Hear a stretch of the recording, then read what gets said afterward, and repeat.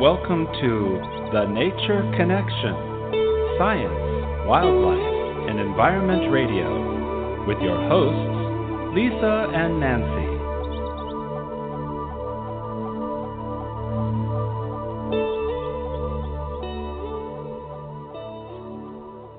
Time I hear that, I feel like at, at peace and in calm in nature.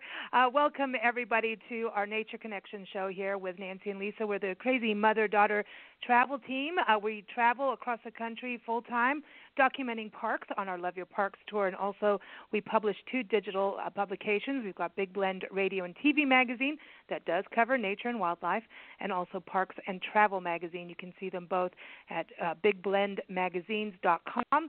Today we're recording a podcast with naturalist David Parrish, and uh, we're actually we're sitting. It's a beautiful sunny day here in the desert. Yeah, we're just outside Joshua Tree National Park. We're at our friends in the historic uh, Homestead Inn here in 29 Palms, California. Unfortunately, we can't be in the park because at this point the COVID virus shutdown is is happening. Um, and I'm excited because David has written a book. It's called The Gyroscope of Life Understanding Balance and Imbalances Mm. in Nature. So I want to ask, is that does I that like go it. to politics? Anyway, but it releases through Pocahontas Press in June 2020. I encourage you to go to their website, pocahontaspress.com. Uh, but you know, when you talk with anybody who's into science, biology, and nature, you know, you do want to talk about viruses and things too, but especially his book. But welcome, David. How are you? I'm fine, Lisa. Thank you very much for inviting me to join your listeners on Nature Connection. Yeah. And hello, Nancy. Mm. y- you know this is cool because it says science in there. How often do you get to hear science podcasts you know for the general public? And not just you know you know folks like us that geek out on it you know. Um but i love the title of your book the gyroscope of life and i you know the, as soon as i saw the title i was like i wonder how many people can even remember like a gyroscope thinking about cells thinking about all those things that we don't see to the naked eye half of the time. Um and i think that's kind of your, your premise of the book is we don't always see what's going on in nature. We we we do not, and and I think maybe I, well, I grew up loving gyroscopes. There was a toy that I grew up with as a boy, and uh, I'm not sure that people relate to gyroscopes as much as I do. Uh, do do you know gyroscope? I Know remember having having one, but I remember uh, my brother was really cool. Like he could put it like in the palm of his hand, and it would keep spinning, and I couldn't Uh-huh, do that's that. it. Yeah, he could it, do yes. that, and could yeah, and then he later he became a gymnast. So he had that like balance thing. I couldn't do it. Yes. I mean, it was always like, oh, I'll buy. Mhm. Yeah. I had The, a gyroscope. fascinating. Yeah, I'm sorry. I said I had Okay. one too as a kid. A gyroscope Oh, and a okay, good. microscope. And a microscope. Okay. Yeah. Great, great. Yeah. Well, the fa- the fas- the fascinating thing to me about the gyroscope was, and still is, that you could set that little wheel spinning, and then Mhm. set the whole device at any angle you wanted to, and you would think it would tip over. It's so tilted, and yet it remains in that position as long as that wheel is spinning. There is that balance uh, Hmm. that it that it has that uh, makes it a just a, a marvelous demonstration of the laws of physics, actually. But it, it it makes a for me a great metaphor of trying to explain or understand what's going on in life as well.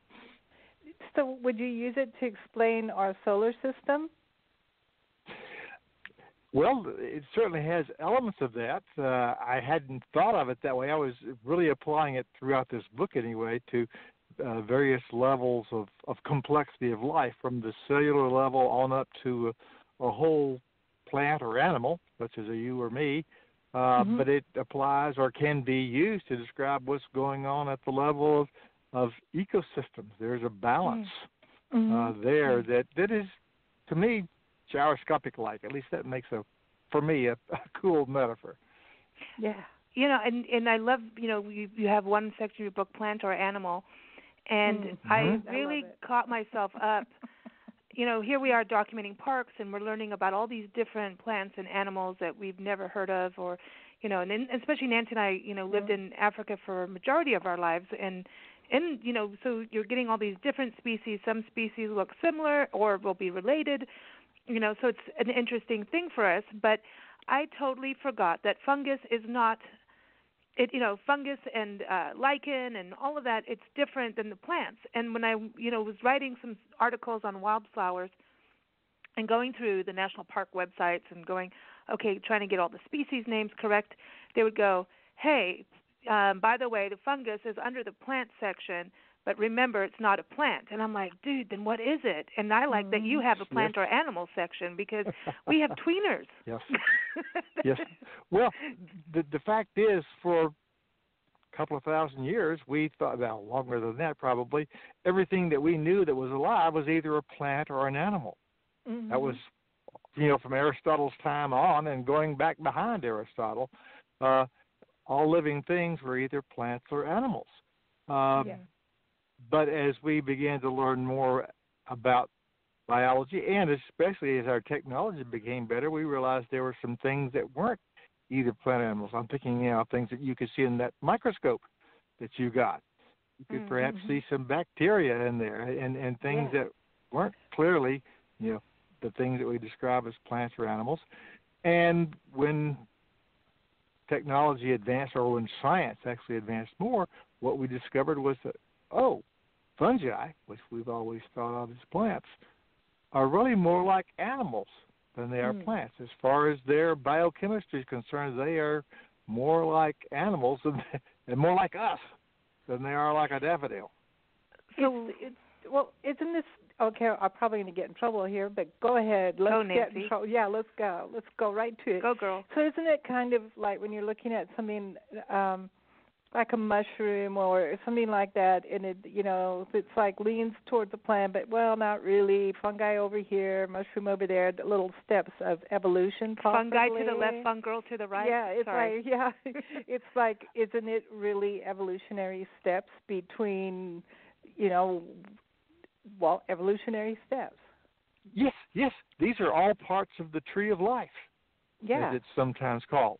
Uh, and uh, fungi are off on their own branch. They have a, a, a branch that's separate from the branch that we that you and I are on, the animal and all other animals on, and it is separate from the branch that the uh, the plants are on. And, and of So course, then go ahead. Oh, go ahead. Well, I, I was just going to say, and then of course the the bacteria and uh, other forms are are on separate branches themselves. But we're all related back down at the base of this tree of life. We all see have common ancestors. Yes So then, the duck-billed platypus. okay she's she's stuck in the the she's stuck stuck in darwin I'm so stuck in Darwin. It's so funny. I really, but, you know, when you look at the duck-billed platypus, you're like, okay, that somebody just got mad one night and threw you all together. yeah, it it does have that appearance. It, it has some some characteristics that make it look like a mammal. It's got hair and so Mm. forth, but then it's got that crazy looking nose on it, that bill. yeah. It looks Mm. much more like a bird. Uh, so yes, it, it is a, an interesting example of how evolution can come up with some interesting solutions to living in particular environments.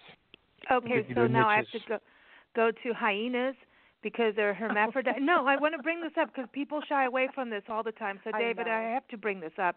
And nancy was talking about wall was it wallabies or wombats the other day and how marsupials are totally like they're almost like they can reproduce themselves almost. And It- so when you think about evolution are are these species or like families of animals are they in that zone where eventually do you think we're really because we separate male and female and you go you have male or female in in your book too and everyone the gyroscope Yes. of life you got to go get it um you bring this up and so when you we talk about hyenas it freaks people out and yeah. I mean, it, I grew up with hyenas running around, you know, in the bush, you know, in Kenya.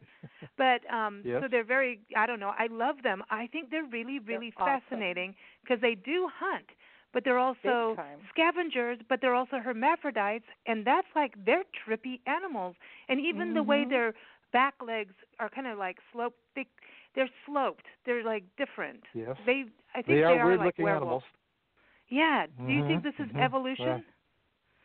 Oh, I think that we're all products of, revol- Yeah. of evolution. Yes, that uh, uh, Mother Nature, if we Mm-hmm. can personify evolution, that uh, Mother Nature designed creatures to fit into particular niches within their Mhm. ecosystems, and, and the hyena is obviously very well suited, very successful, and, Yeah. and therefore very well suited to filling out a particular role within Mm. those ecosystems where we find it. And it, I, you know, you're telling me something I didn't know. I'm, I'm, I'm a, a botanist, really, more than a than a, uh, a, a zoologist, but uh, I was not aware really that uh, that was that, that bit. It's the norm for hyenas to be hermaphroditic. It is for Oh, plants, yeah. by the way.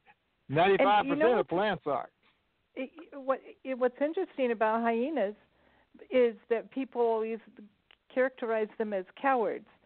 And I'm just going to tell you, if you've ever met one in the middle of the bush and you're walking on your own, Hell no. they're no coward. Hell no. Yeah. Uh-uh. Well, this is Well, I, I haven't you- met one personally. No. Oh, they're awesome. They're they're so fascinating. They're they're sound at night. Like when you go to sleep, you'll hear them like they do this ooh, like they kind of sound like monkey like too.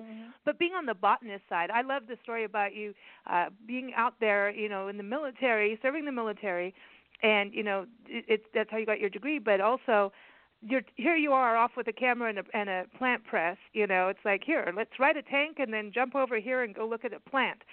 So it's, you know. I have appreciation for that. But when you talk about plants and evolution, this Mm. is an interest. I'm I'm like looking at like the whole evolution thing. I think we with religion kind of like shunned it aside and then if if there's an agreement of evolution happened i mean you know we went from cave people to now what we are you know human being wise standing up a little bit bigger and all of that I think there's a side of us that religion stops the conversation of evolution and and doesn't Yeah. want to look at what we are as evolving. But I also think there's evolution in regards to how plants and animals and birds, how communication is happening, how um, you know birds are changing how they get their food. Mhm. Plants are changing even just because of human factors of changing it a plant, a native plant, and adapting it and draw, playing. You know, hey, I'm sorry, but we're playing God so that we can have a garden that looks manicured.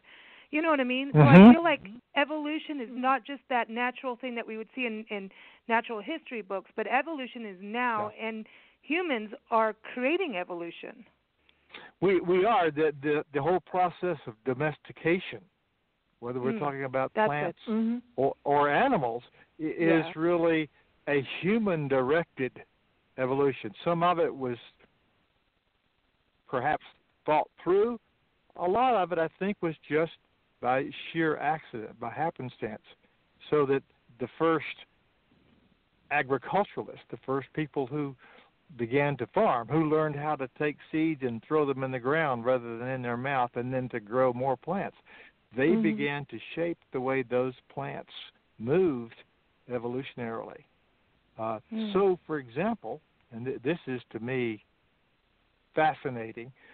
If you think about the the plants, the the, the uh, vegetables that we call cole crops, these are Mhm. things like cabbage and broccoli and cauliflower and kohlrabi and kale and others.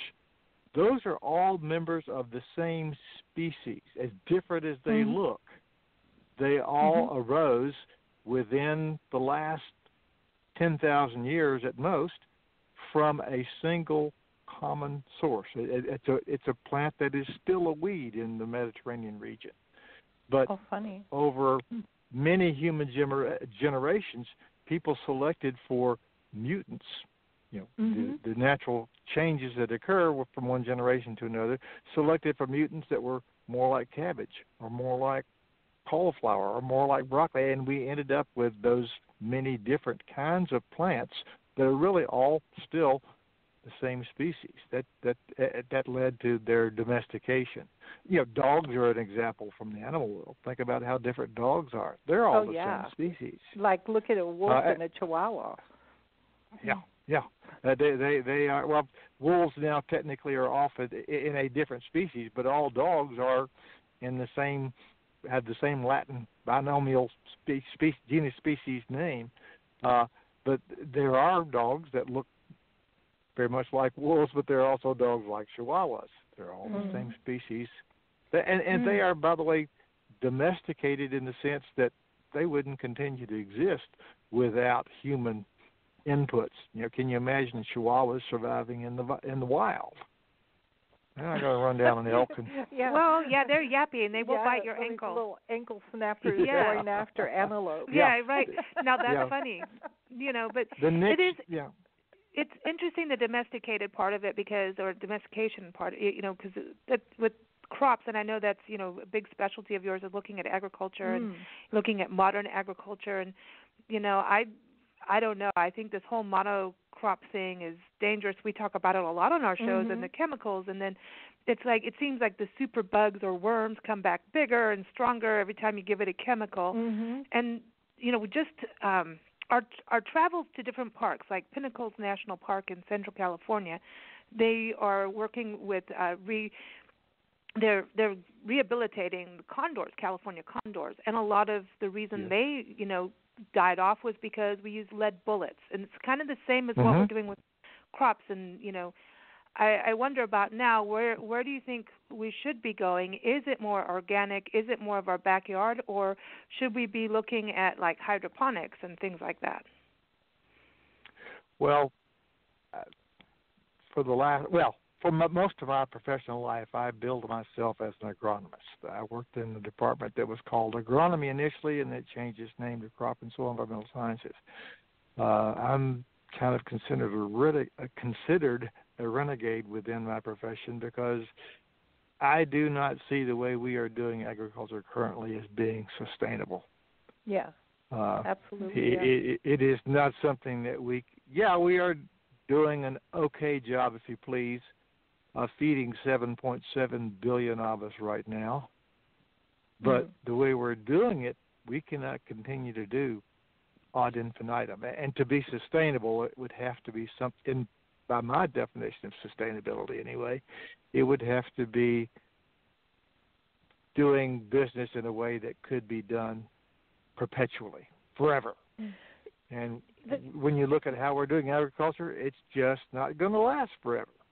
Well, I don't see how it can. You know, I think when if we go back to like pre World World War Two, people had victory gardens, and they they knew that they had they possibly might run out of food, and they had their own little backyard gardens, not maybe acres Mhm. and acres, but they had enough Mhm. of a patch to grow their own food.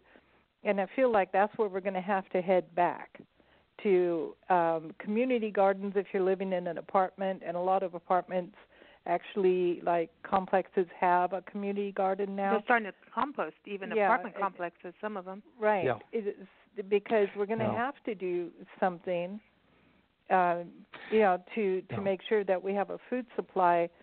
And and then I look at the things like because we spent time in in Yuma and we watched what happened with the peanuts and the crop and they didn't have whitefly until they put all the peanuts in big long rows and took acres and acres and they they called in a pest that had never been to Yuma before because of the concentration of one kind of plant Yes. And and so then they had to come up with a yeah a way to get rid of the whitefly, and they weren't as successful Mm-hmm. uh, getting rid of it as they were calling it in. I'm just saying. yes. yeah. Well, mo- monocultures are inherently not the way Mother Nature would go, not the way Mother Nature has gone. If you, if you when you compare the how we do agriculture to natural ecosystems, Yeah. Uh, there's just no real comparison, unfortunately. Uh, there, there is a well, if you do the math, the math is Mhm. pretty straightforward. There's about three and a half billion acres of readily farmable land. That is, the soils are suitable, they're level enough, there's water available, et cetera, et cetera. And when you divide that by 7.7 billion people, that says there's about a half an acre per mouth Hmm. to feed Hmm. us. Uh, and and uh, it's Hmm. doable when you when Yeah. you look at what can be grown on a half acre. It's doable, but Yeah. uh, it's hard for, and this is the dilemma for me. It's hard to imagine us going back to those ways of farming, uh, of subsistence farming, mm. when there's 7.7 billion of us. They're just, in my opinion, there are too many of us. Mm-hmm. Yes, our our our, our root problem is that uh, we we have we have exceeded, in my opinion, and the opinion of, of many others. And, and by the way, I'm stepping outside of an area that's strictly biology here, so mm-hmm. you know take take it for whatever it's worth. But uh, in my opinion, we have exceeded the planet's carrying capacity. There are mm-hmm. that the carrying capacity is a technical, if you please, uh, ecological term, but we have exceeded the number of people that the plant can support ad infinitum. Right. That is sustainably. Do you um, think that right now, like when you look at something like COVID nineteen, that we're dealing with this, everyone's in a shutdown mode, and you know, and it's a global situation where I look at this in a way of it being it's horrible, and and I'm sorry for you know the the deaths, and and so I'm I'm not being callous, but when we're talking science biology, there is a mathematic thing here of, and also a um, eye-opening thing that one I think this is one of the few times that the world is connected in a way of under yes. and it's sad, but it's like, oh yeah, we're connected. We're connected right down to the tiniest little micro the thing that you can't see, right? Unless you have the the you know the microscope. We're connected that far away. In COVID, you can't see it, right? Um, unless you get the little bacteria thingy out and look at it, uh, the microscope right. thing, right? so we've got that. So now it's a danger, and then there's that side of me that says, okay, like all the parks are closed right now, the National Park Service parks, right? And there's that side of me that goes, okay, in a way, that's cool because now the parks are getting to breathe from human foot footsteps, human traffic, um, you know, uh-huh. cars uh-huh. and um being just, you know, people ruin parks and we're the park advocates and we want people out in parks, but there's this reprieve for nature and it the other part of me goes, do you think nature has this way of like dude we've got too many people on earth now it's time to clean up i'm i'm you know like going in i feel like that like n- mother nature yeah. says yeah. well i'm i'm i you know i need to take a shower and some of you are going to you know jump in the boiling pot or something when it happens yes well i i, I absolutely do believe it and it, it's it's very loaded when we talk about this in human terms when we talk about thinning mm. out the herd but in fact, if you just look at what goes on out there with all the other animals, humans mm-hmm. aside, something like this happens. Something if if the well, my favorite park is Yellowstone. Mm. And if if you know the story of the elk populations in Yellowstone mm-hmm. National Park, uh, that to me illustrates very well how Mother Nature deals with overpopulation. Uh, should, should I recite that story uh, of, of, sure, of how, what ahead, happened with the elk? Uh, because it, I could run on for a little while here. Be sure and cut in and and, and uh, uh, make sure Don't I'm, tell I'm us clear. that. Please do. But uh, in, in any event, uh, for a variety of reasons, in the early 1900s, we set about we our species set about to eliminate gray wolves from the mm-hmm. Greater Yellowstone ecosystem. That includes the Yellowstone National Park and more geography. Uh, and and the wolves were eliminated. And within several years, and by the way, grizzly bear populations were reduced too. Those exactly. are the primary predators for mm-hmm. elk. Yep. And what was observed over the next several decades was that the elk populations boomed, yeah. especially the overwintering elk mm-hmm. in the Yellow, Greater Yellowstone Park or Greater Yellowstone ecosystem. And uh, because their numbers were so great, they began to browse on the aspens and they began to browse down all the vegetation around the streams, et cetera, et cetera. And the whole ecosystem suffered. But so also yeah. did the elk. Uh, mm-hmm. Their fertility levels went down, disease mm-hmm. levels went up, etc. Uh, wolves were reintroduced in the 90s, guess what happened to the elk population? Does he? It, It went down. It you just balance. can't do this. The- that's the balance thing. The balance was restored when we let the wolves back in to Mhm. repopulate that niche that we had eradicated.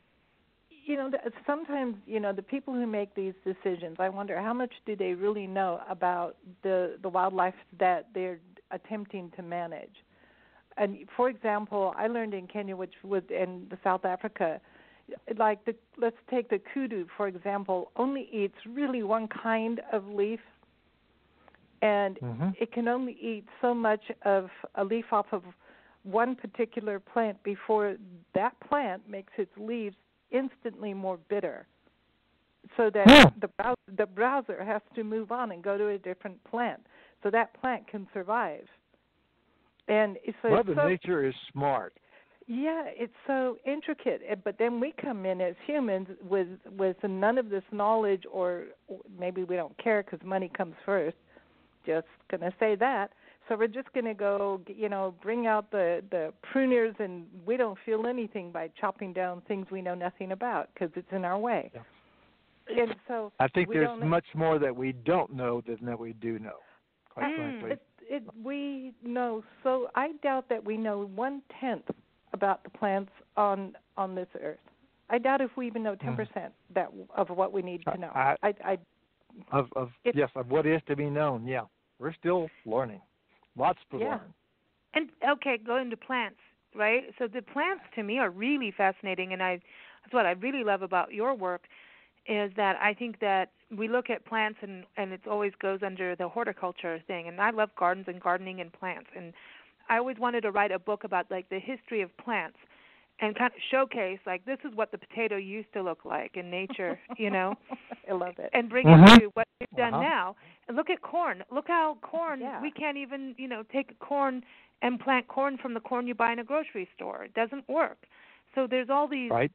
things we've done and I've always wanted to write a book of and like get like historic images and I don't know because plants to me it is the most they are like the canary of the planet because of the soil. We um we stayed on a ranch once and they're really doing this work on uh, they understand they have this uh, they do this holistic ranch style of things and they have all these meetings of all these Yes. scientists and this is Mm. important i think the more the word scientist that is that that individual out there really studying we need to listen more we and need more the facts we need to have the facts we can't Right. not have science on yeah TV, radio shows, and, and it needs to be part of the political system. It needs to be part of the voting system. It needs to be part of educating people so that we can make these decisions in life, personally and you know just for communities.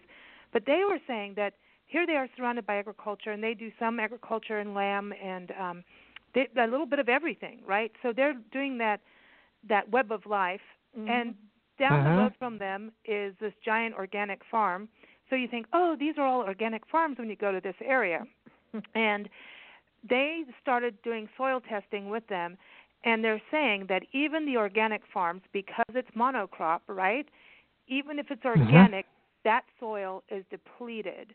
Yep. And so, and that it's also because the whole connection thing, the soil, even from the organic farms, that is now Mhm. it sucks, right? There's no nutrients left. That it because that doesn't have nutrients, that that is actually harming like nature around the corner and Mhm. the and like just where it's wild land that whatever Yes. we're doing there actually connects back to the soil down the road and you wouldn't think that because you think oh well the we put up a fence You yeah know what I mean? Yeah. that really makes Well, a uh, difference. whenever we whenever we are farming commercially, whether it's being done organically or being done conventionally or being done by biotechnology, whenever we are farming commercially, we are taking stuff away from that land. Whenever we haul a crop to market, we're hauling away the nutrients that were in that soil.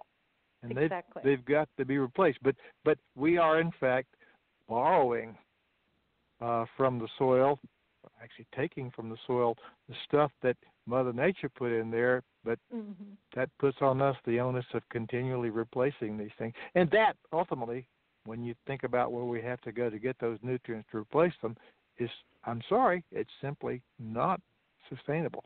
We are going to run out of the eventually run out of those the phosphate and the potassium and exactly. the other nutrients that we need to put back in the soil. Because where are we getting that? You know, mm-hmm. where are we getting the minerals yeah. that have to go back to what we just took away? Mm. You know, and right. Well, we have to go to Canada or to Mexico yeah. or wherever, and and go down a mile deep to find them in those layers exactly. and then haul them thousands of miles to put on, on the ground. And you know, I'm I'm sorry. It, the the problem again, I think, in my humble opinion, is that there's just too damn many of us. Mm. And I don't know the solution to that, but if we're going to continue to feed those, we've got to continue to do farming the way we're doing it. I, I don't well, when think I when that, I was a kid, mm. when I was a kid, I, you know, and growing up in Kenya, everybody was like, "Yo, you know, the starving kids in Africa," and they are. It's a oh. very real situation. Um, Absolutely. but I remember, you know, I was raised very much out in the bush and doing, you know, nature stuff, and you know, I started to really read as I was getting old and older into biology and ecology, and then you know I didn't I didn't understand that I was in ecology all the time. Like that was who I was. This environmentalist part comes uh-huh. out as as you grow and, and become a, a mature person. I don't know if I'm mature yet, but anyway. but I, know. but now what You're I'm, doing I'm great, you know I'm midlife now, right? I'm getting there or whatever. Mm-hmm. I don't know. Um, it's there, um, but it's um, interesting because when I was 17 years old and I was watching all my friends, you know, this is back in the early 90s. All my friends, you know, basically getting married, having children. I mean, all of it was planned even as they were graduating. You know, this thing was already mm-hmm. going on. Mm-hmm. And I was like, hell no. And I'm hell not doing no. that. And I made a decision then that I would never have a child. And and if it happened in my life or I adopted one or it, it did happen, of course I would embrace yeah. it. But um and do it. But I made this decision. It was this whole organization. I read this thing on uh overpopulation and there was like mm-hmm. this, you know, uh take the pledge of zero population growth. Like don't be don't add to it and I made this choice yes. and I've stuck by it. I mean to the point of like like I don't even go on dates or anything anymore. I travel and look at nature. Okay. I mean, I'm just like it's not happening, and I refuse. I refuse because of this. Because I don't, you know, and I don't want to put chemicals in my body other than wine, you know, and and, the, and tequila once in a while. Yes. That to Uh-huh. prevent it, I'm like I want to. I I don't want that, and that's Okay, kind of I commend you. Lisa. I commend you. I know that, people that, get I, mad I at wish me, though. many more people. Yeah, well, Here's the uh, thing. It's not only it, that we it, have it's a loaded so sort of issue. Mm-hmm. It we live so much longer, Mm. and we have an Yes. emphasis in this culture of living as long as possible. Okay, so Mhm, not only mhm. are we it, we have so many more people than the Earth can carry, but we're also living a lot longer. So I Mhm. do think there is a solution to that. That is humane in that um, you grow your own veggies. Just start growing your own garden because people have take out the oh I want to swear take out the lawns. Just get rid of the lawns. Grow some nice flowers so you can look pretty from street view. Behind the flowers, grow some vegetables and feed your family Native something plants. with with the right soil. And Mhm. um, you know, and do that. and don't reproduce. For those who have the ability, that's great. I really agree. Yeah. Totally. Yeah. Yes. And but are we fun. allowed? Okay, David. Though, is it wrong? Like, you know, because I rarely talk about this on the show about like the zero population growth. Like, can we just say like, come on, like, think about it before you do it? You know, Oh, hello. you know what I mean? I'm just saying. Yeah, I Uh, taught yeah, you well. Yeah.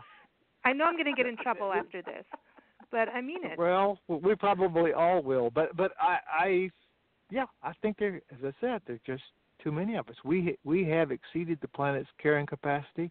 Yeah. It's already beginning to affect us. You know, but something do we like care because a ninth of the world's live... people are going to bed hungry every night. But sorry, do we care? This is the thing. Do we actually care? Because are, do are we so selfish that we only care about us and our own family, possibly, and we're going to live at somewhere between sixty to maybe a hundred years? Do we really care as long as that sixty to hundred years is okay for us? I think the, the the problem just seems too enormous. It, it, it's something you know. How how do you address this? How do we solve a problem of having 7.7 billion of us living on this earth, and maybe there should only be two billion yeah. or less. Uh, and then we how think it's you- more yeah, precious too. We'd have, we'd think about life being more precious too. Yes. I think things are taken so for granted now, and this is kind of the way the, the this pandemic thing is. I kind of think people are starting to think about, you know, things a little bit more than being so rushed, and and actually have some gratitude for life. You know, Mhm. Mhm. I just Well, okay, Mhm. if you're in the hospital right now and you've got uh, people with the virus and you don't have enough respirators, and you have to make a choice: who gets what respirator, who gets them, and who it's doesn't. horrible. How do you know? Mhm. That's yeah, man. Yeah. It's it, it's it's we've yeah we've but this is the whole thing about what you've written and everyone again it's out gyroscope go get it uh, the gyroscope of life understanding balances and imbalances we're talking about that now in nature i love it because you really show the web of life and that's Mm. something that um i think the more we can teach kids this you know and i think your book is a way that because Mhm. you tell your personal stories that people can identify with things maybe you know getting out in nature when they were kids or, Yeah. but if the more we can do that and get the adults involved with the kids you know to understand and have yes. that joy of looking at a bug looking at a bee on a plant you know i think that's what's and beautiful about what appreciating you've done. life. Yeah, Mhm. appreciating life, all life, the the whole collective. Uh, we we tend to be thinking of life as just what's tied up in Homo sapiens, but uh, Mm. life is so much more than that. And unfortunately, Homo sapiens are we Homo sapiens are screwing it up. Mm. mm. I know, uh, and we're in the my the humble ones with- opinion. We're the ones with the thought. You Mm. know, we always say animals don't really have the thinking process that we do. You know, Mhm. and that may or may not be true. I have my own opinion about what animals think, feel. I think we're more intelligent than most, but we also But- have, with that intelligence, developed technologies that are just raping the world. Yeah. So how Uh, intelligent it- are raping we? then? nature. Yeah, well, Right. we're, we're not being intelligent in our use of technologies. Absolutely, I would agree. That's for sure. I want to ask you because I know that you're up in the Appalachia side of the world, the Appalachia side of the world, and Uh-huh. and they live on 30 acres in the hole in the woods, right? Cool. Now, yes, yes, that's our place. have Cool. you noticed on your land any changes? You know, like just living out there, is there any change through the years that you've seen and, and witnessed because, you know, of human life, or what's it what's it Oh like? yeah, it, it's got to be cool. I I had I had the almost religious experience uh, 50 years ago of uh, going out and standing in a uh, probably a hundred acre uh, plot of virgin timber in the Mhm. eastern here here in the Appalachians. This was in an area where the trees were some of them 20 feet in diameter Wow. and uh, 200 feet or more tall. These were huge poplars and oaks and and other trees, and then the understory was was gorgeous in its own way. But it, it the, the experience was kind of like walking into a cathedral in in uh, in Europe, you know, with these huge columns and the ceilings that go to you know Mhm. infinity almost. It seems like that's what this ecosystem used to look like. Uh, this I'm. I'm getting back to answering your question. I've gone off on a tangent here, but what We I can have. say about what I've observed, yeah, what I've observed on our little 30 acres is that it's slowly moving back toward that. Uh, it it Cool. is was cleared uh, before we bought the land, probably 20 or 30 years before we bought the land. It was clear cut Oh. and Uh, then and then just left to grow willy nilly. Uh, Hmm. Mother Nature does have a good way of of covering up those scars, but uh, it takes a long time to get Yeah. back to a stand like I stood in. And it's you know we're still probably if it were allowed to continue uh, hundreds of years from getting back to that state. Mm. I can testify that in the time I've observed it, in the last, you know, 20 plus years that we've lived on uh, at Hole in the Woods, it's it's you know Mother Nature is doing her thing. It's moving back toward that pristine state. That's It'll amazing. Make it because somebody, is, yeah. Go ahead. We, we, when someone lets it be, it's it's interesting to me to be able to watch that. You know, um, Greg Graffin, he was a, the lead um, musician in the band Bad Religion, and he wrote a book that also kind of deals with this issue that we have. And he has a big piece of land up in Maine. I think it's in Maine. I can't remember. Uh-huh. It's a long time ago that I read his book, and he was talking about like he has ancient fossils on his property Oh, and cool. bones Cool. of things and Mm. he won't let people take them out Good. and people are mad at him Yeah. because he's like no we need to just let nature do whatever it is mhm. and just Yep. leave it Yep. and get the hell over it he's just like let it be Mhm. and all these you know people want to dig things up and he's like nope we're leaving it i'm not touching it. Everybody else does this Good and for that to their land over the season Yeah. and he's like i don't care you know i don't care if it all turns to oil and no one touches that that's what it's going to do. And let nature have its process. And he won't touch anything on his land and it really bugs people you know that he won't garden or whatever and and he's really learned it changed his whole life and it and it's Well, interesting that his does- band name is Bad Mhm. Religion, you know, because I also you know reading about your you He's know got childhood. some good things there. Yeah, there's Yeah. some good things, but it's um the interesting thing when you look at um religion and where we are today, and I think that's something that is rarely talked about, and I really applaud you for for bringing light to this because it is a different and it oh I'm going to so get in trouble. It's almost like it shouldn't be ignored because it is something that every culture has uh, some kind of belief system, and it's very interesting that they all kind of align in some ways, even though we have to fight and kill each Mhm. other over it. But it is about how baby too many babies are produced, and there is that part of it, and it really harms education. I think when um, religion and you know science and the cloth. But I feel like now we're getting better at that. Do you feel that that we're getting better at science and I think I think there's some growing awareness. I, I I'm a little discouraged sometimes that there has been this anti-science, if you please, Oh movement yeah. uh, that that Mm. is has grown in Mhm. some circles. It's it's partly political, but it there are other Yeah. overtones to it, in my opinion. Uh, Mm. But uh, I would hope that as we make decisions in the future about where we want to go, we will use good science Mm. to make those decisions. Absolutely. And, and, and I am encouraged that yes, to get back to your question is that that maybe we are the pendulum starting to swing the other way, and, and that now science is again getting its due. Uh, Mm. but we'll, we'll see. Yeah, it takes I'm, a virus, I'm, right? I'm hopeful. Yeah, I think well, I think what I- what that- I think it's interesting. You know, here we are in the middle of a, a virus, and everybody's running to the doctor. Hello, they're scientists. Hello, yeah. Mhm. wakey wakey people. They've been Mhm. saying something Hello. for a while. Hello. for a while, but you know, well, we really Yes. appreciate that you've you know written this book, and everyone again, it's the gyroscope of life. Understanding balances and imbalances in nature It releases in June through Pocahontas Press. So you can go to pocahontaspress.com.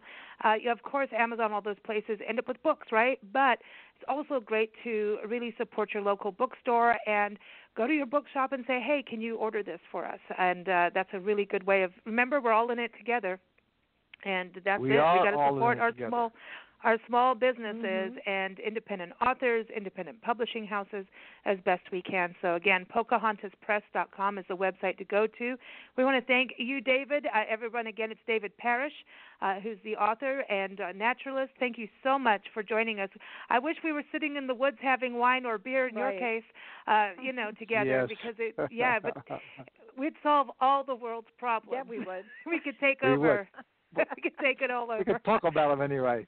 Well, thank you, Lisa yeah. and Nancy. I have really enjoyed being on Nature Connection. Thank you so much. And audience, thank you for joining us. You can keep up with our shows and podcasts at bigblendradio.com. And we always love to play uh, special music for our guests and, of course, for you, our listeners.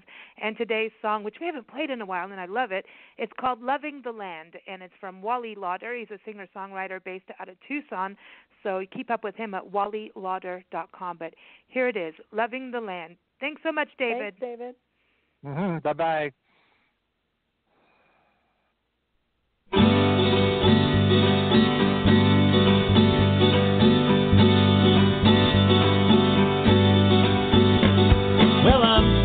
My back porch, my guitar in my hand. And I'm looking at the afternoon. I'm looking at the land.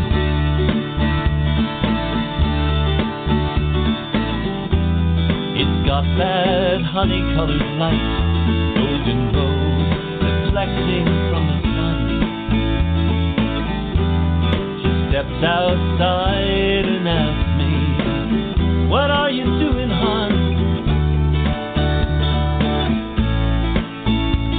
And I'm loving the land.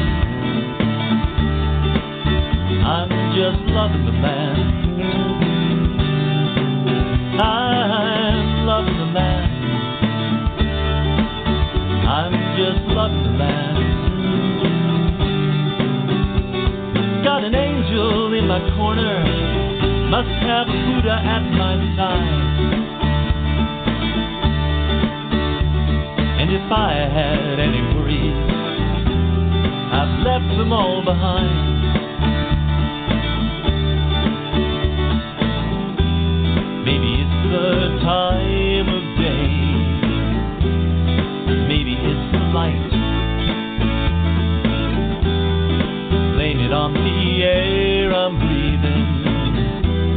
But I couldn't feel more right. I'm loving the land. I'm just loving the land.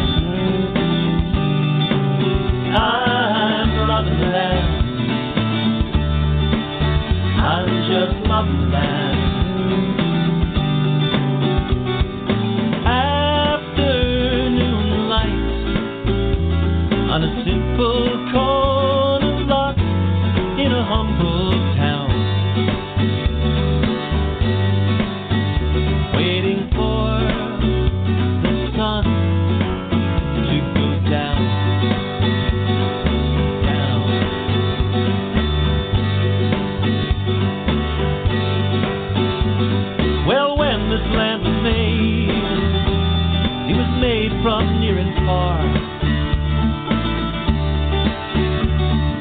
Molecules and galaxies and mystery